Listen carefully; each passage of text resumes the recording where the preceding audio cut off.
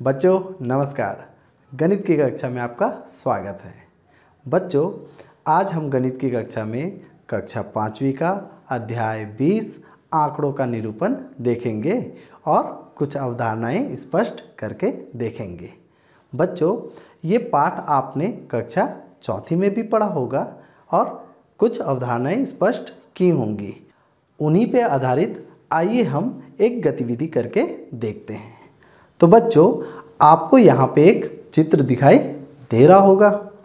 बच्चों, आपको यहाँ पे देखिए एक छोटा सा तालाब दिखाई दे रहा होगा, जिसमें कई प्रकार के जीव जंतु आपको दिखाई दे रहे होंगे।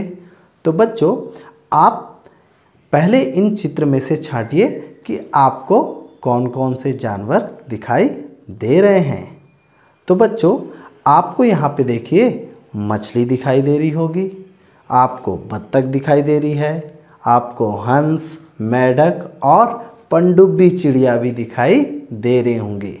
बच्चों, हमने देखिए नीचे उन सभी का चित्र बना लिया। अब देखिए बच्चों, आपको इसमें से गिनना है कि कौन से जानवर कितनी संख्या में हैं। तो बच्चों, आइए हम इन जीव जंतुओं की एक तालिका बनाते हैं। तो बच्चों आपको ऊपर में एक तालिका दिखाई दे रही है, जिसमें हमने सभी जीव जंतुओं के नाम लिख दिए हैं, जैसे मछली, बत्तख, हंस, मेढक और पनडुब्बी चिड़िया। बच्चों, अब आप नीचे चित्र में से गिनिए कि कितनी संख्या में मछली है, कितनी संख्या में बत्तख है, कितनी संख्या में हंस हैं। आप गिन के उनकी संख्या को इस तालिका में भर दीजिए। जैसे कि उदाहरण के लिए आपको मैं मछली गिन के दिखाता हूँ। तो देखो बच्चों, यहाँ मैं चित्र में आपको एक, दो, तीन, चार, पाँच छः छः मछली दिखाई दे रही है। तो आप तालिका में मछली के नीचे छः लिख दीजिए। इसी प्रकार आप अन्य जीव जंतु की संख्या भी गिन के तालिका को पूरा कर लीजिए। अब बच्चों, हमने जो तालिका तैयार की है, उसे हम बड़े सुंदर तरीके से एक आलेख के रूप में निरूपित करके देखते हैं। इसे ही हम आंकड़ों का निरूपण कहेंगे। तो आइए बच्चों, हम इसे करके देखते हैं। तो बच्चों, आपको यहाँ पे एक आलेख दिखाई दे रहा है, जिसमें हमने नीचे लिख दिया है प्राणियों के नाम। जैसे बच्चों, आपको जितने जीव जंतु दिखाई दे रहे थे, उन सभी जीव जंतु क्योंकि वो अभी तो एक प्राणी हैं तो उन सभी जीव जंतुओं के नाम हमने नीचे लिख दिए। जैसे मछली, बत्तख, हंस, मेढक और पनडुब्बी चिड़िया। अब बच्चों, आप देखिए कि यहाँ पे हमने ऊर्ध्वाधर में उनकी संख्या को दर्शाया है। तो इस प्रकार बच्चों, हमने नीचे में प्राणियों के नाम को लिखा है और ऊपर उनकी संख्या लिखा है। अब बच्चों, हम समझते हैं कि इसमें हम उस तालिका के आधार पर कैसे आंकड़ों को निरूपित करेंगे। आपको उस तालिका में मछली कितनी संख्या में थी बच्चों? छः। तो आप यहाँ पे तालिका में आप छः जो भाग बने हुए हैं, उसे आप रंग भर दीजिए। एक, दो, तीन, चार, पाँच और छः तो देखिए बच्चों, यहाँ पे मछली की तालिका तैयार हो गई। बच्चों, इसी प्रकार से आप हंस, बत्तख और जो अन्य जीव हैं, उनकी भी तालिका तैयार कर लीजिए।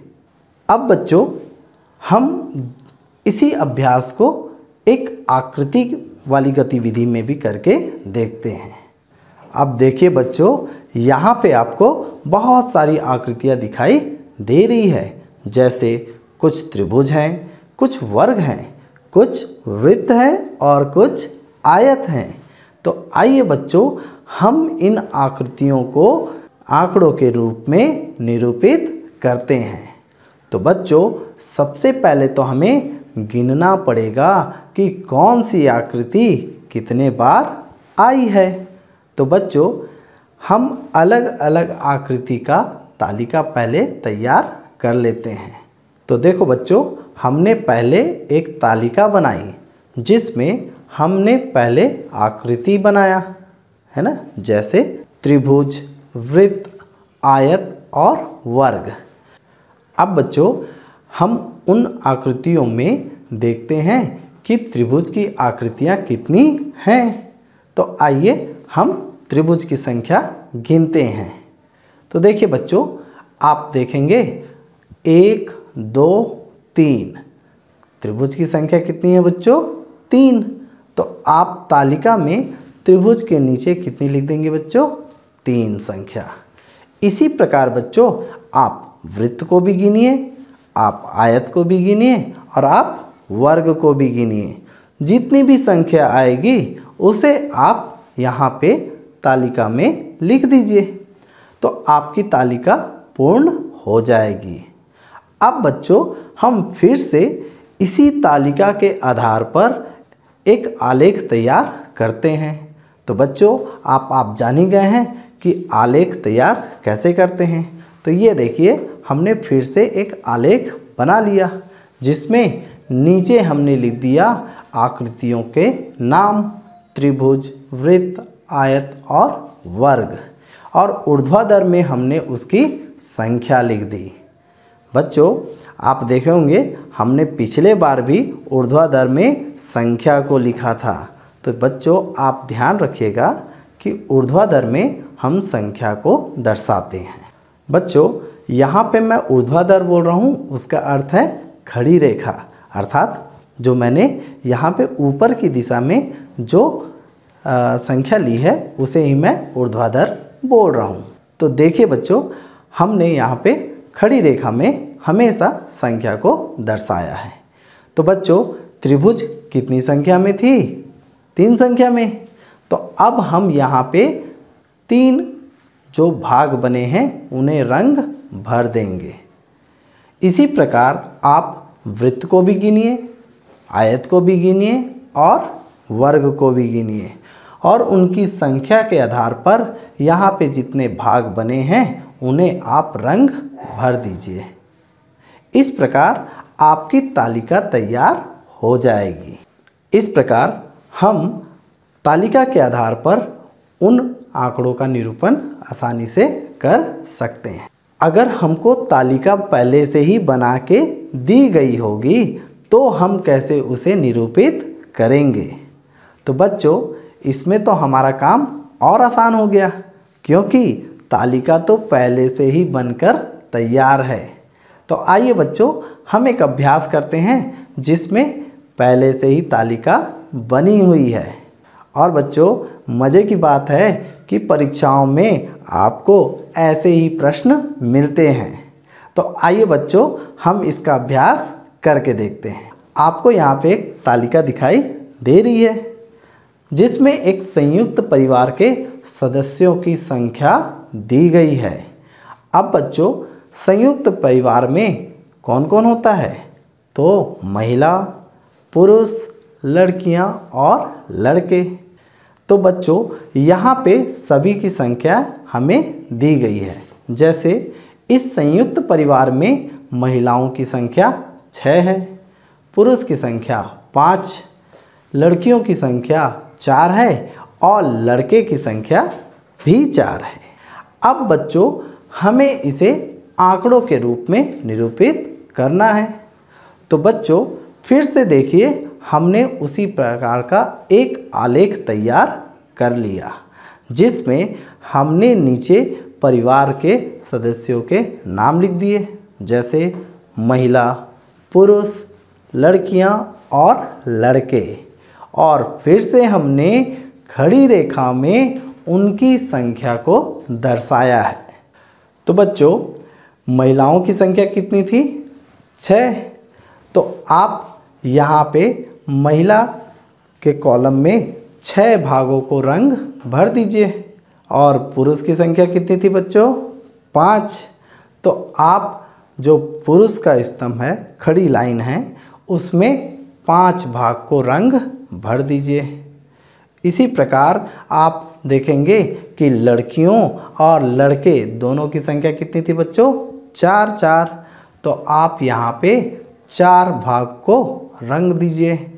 तो बच्चों, आप देखेंगे कि आपको कुछ इस प्रकार का आलेख दिखाई देगा। तो हमने बड़े आसानी से उस तालिका को आलेख के रूप में निरूपित कर लिया। हमने आंकड़ों को तो निरूपित कर लिया, परंतु ये आंकड़े हमें कौन कौन सी जानकारियाँ देते हैं, आइए थोड़ा इस पे भी चर्चा करते हैं। तो बच्चों, हमने तालिका के आधार पर आलेख तैयार कर लिया। अब बच्चों, परीक्षा में इसी के आधार पर कुछ प्रश्न पूछे जा सकते हैं। तो आइए हम चर्चा करते हैं कि इस आलेख के आधार पर हमें कौन कौन से प्रश्न पूछे जा सकते हैं।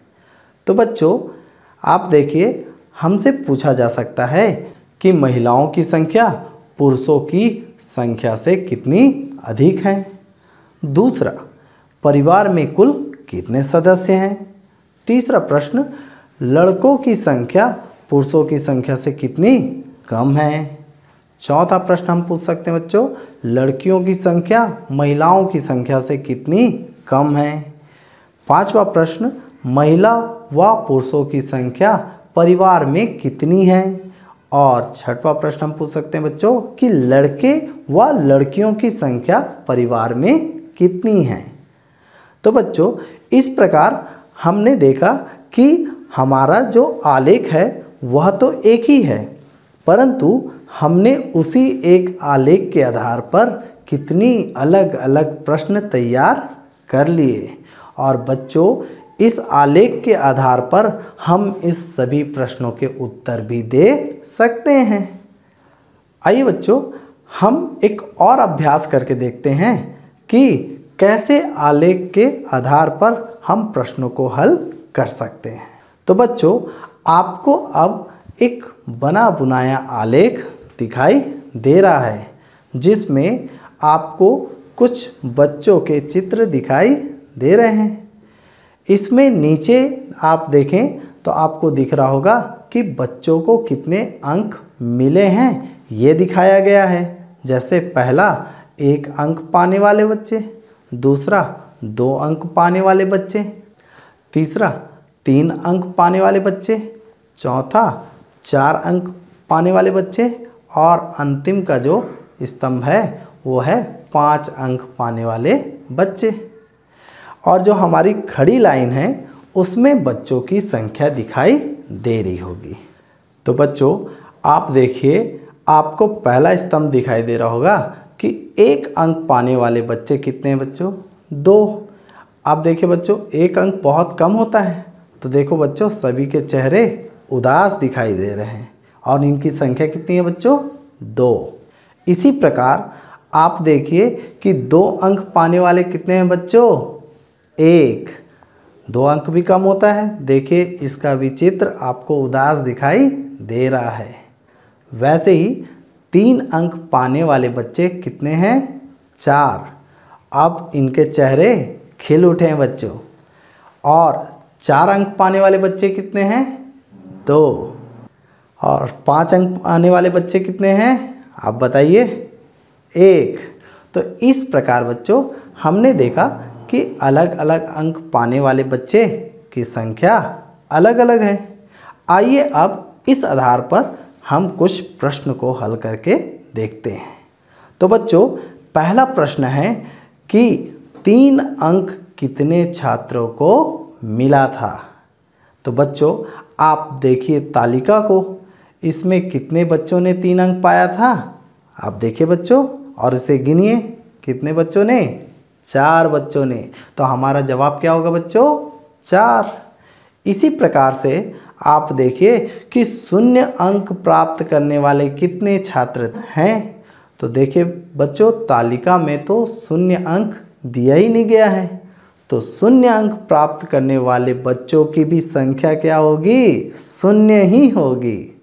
इसी प्रकार तीसरा प्रश्न है कि सबसे कम अंक कितने बच्चों को मिला? तो बच्चों, आप देखेंगे कि तालिका में सबसे कम अंक कितना था बच्चों? एक अंक। तो आप देखिए कि उसमें कितने बच्चों को दिखाया गया है। आप गिन के देखिए बच्चों, कितने हैं? दो बच्चे। तो आपका जवाब क्या होगा? दो बच्चे। इसी प्रकार, चौथा प्रश्न है, क्या किसी छात्र को पाँच अंक प्राप्त हुए हैं? तो देखिए बच्चों, आप तालिका में देखेंगे तो पाँच अंक प्राप्त करने वाले कितने बच्चे हैं बच्चों? एक। तो आप बोलेंगे हाँ एक बच्चे ने पाँच अंक प्राप्त किया है। तो देखिए बच्चों, हमने तालिका के आधार पर कितनी आसानी से इन सभी प्रश्नों को हल कर लिया। इसी प्रकार से कुछ और भी प्रश्न आपको दिए गए हैं, आप उनको हल करके देखेगा ये आपके पाठ्य पुस्तक में दिए गए हैं। अब बच्चों, हम आगे चलते हैं और एक और अभ्यास करके देखते हैं। आप देखे होंगे कि अलग अलग बच्चे अलग अलग खेल को पसंद करते हैं। कोई बच्चा खो खो पसंद करता है, कोई बच्चा फुटबॉल पसंद करता है, कोई बच्चा कबड्डी पसंद करता है।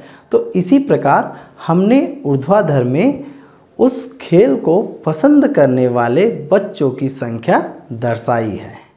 तो बच्चों, देखिए, आप पहला खेल जो दिख रहा होगा बच्चों, वो खो खो है, जिसे हमने नीले रंग से बनाया है। आप देखें बच्चों, हमने ऊर्ध्वाधर रेखा में उसे किस ऊंचाई तक ले गया है बच्चों? पाँच तक। तो हम कह सकते हैं कि खो खो को पाँच बच्चे पसंद करते हैं। उसी प्रकार बच्चों, आप देखिए कि फुटबॉल पसंद करने वाले बच्चों की संख्या को हमने पीले रंग से दर्शाया है और यह स्तंभ कहाँ तक जारी है बच्चों? तो आप देखेंगे तीन तक। तो हम बोल सकते हैं कि फुटबॉल तीन बच्चे पसंद करते हैं। इसी प्रकार बच्चों, अब देखिए बच्चों, क्रिकेट के लिए हमने हरे रंग का उपयोग किया है और यह स्तंभ कहाँ तक जा रहा है बच्चों? चार तक। तो हम कह सकते हैं कि क्रिकेट कितने बच्चे पसंद करते हैं? चार। उसी प्रकार हमने कबड्डी के लिए केसरिया रंग का प्रयोग किया है और ये कहाँ तक जा रहा है बच्चों? छः तक। तो हम कह सकते हैं कि कबड्डी छः बच्चे पसंद करते हैं। अब बच्चों हम एक तालिका बना के देखते हैं। बच्चों अब आपको यहाँ पे कुछ खाली डिब्बे दिखाई दे रहे हैं। अब ऊपर वाले खाने में हमने खेल के नाम लिखे तो उसके ठीक नीचे उस खेल को पसंद करने वाले बच्चों की संख्या लिख दीजिए। जैसे खो खो पसंद करने वाले बच्चों की संख्या कितनी थी बच्चों? पाँच। तो आप खो खो के नीचे लिख दीजिए पाँच। इसी प्रकार आप क्रिकेट, फुटबॉल और कबड्डी खेल के भी नाम लिखिए और उसके नीचे पसंद करने वाले बच्चों की संख्या लिख दीजिए। अब बच्चों, आप देखे होंगे, प्रारंभ में हमने तालिका से आलेख बनाया था और अभी हमने आलेख से तालिका बनाया। आइए बच्चों, अब हम एक और अभ्यास करके देखते हैं। अब बच्चों, मैं आपको एक मज़ेदार गृह कार्य दे जा रहा हूँ। इसमें बच्चों, आपको जो लूडो का पासा होता है, उसका उपयोग करना है। बच्चों, आप देखे होंगे कि उस पासे में छः अंक लिखे हुए रहते हैं। एक, दो, तीन, चार, पाँच और छः तो बच्चों, आपको उस पासे को लगभग 20 बार या 25 बार फेंकने हैं और आपको देखने हैं कि कौन सा अंक कितने बार आ रहा है और उसकी एक तालिका तैयार करनी है, जो कि आपको दिखाई दे रही होगी। बच्चों, ये आपके पाठ्य पुस्तक में भी दी गई है। बच्चों, अब इस तालिका के आधार पर आप उसे आलेख में निरूपित कीजिएगा। और ये अभ्यास आप घर में करके देखिए। अगर कोई भी समस्या आती है तो आप अपने घर के बड़े बुज़ुर्गों या अपने शिक्षक से संपर्क कर सकते हैं। अब बच्चों, हम मिलेंगे गणित की नई अवधारणा के साथ। तब तक के लिए नमस्कार।